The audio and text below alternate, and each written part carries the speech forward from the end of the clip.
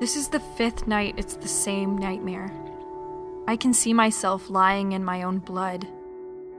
When will I be able to sleep? I know it's a dream, but. But I just keep remembering that accident.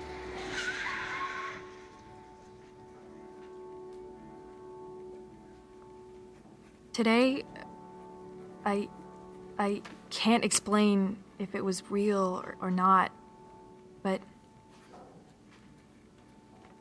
But a person looked at me across the street.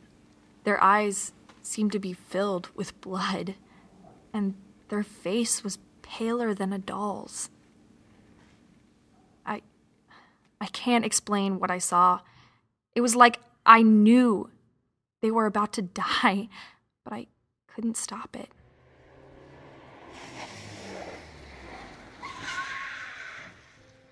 There was a man there.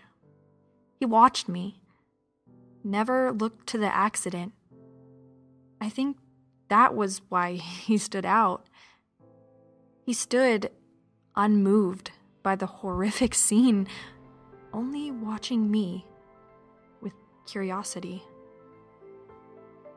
That was the first time I saw him. I thought he might be death itself, or at least a reaper, he was just like me. He saw the shadow of death before the accident. If I pay attention, I can see the person who might be touched by death's fate. See their eyes change. Might be the day before or a week.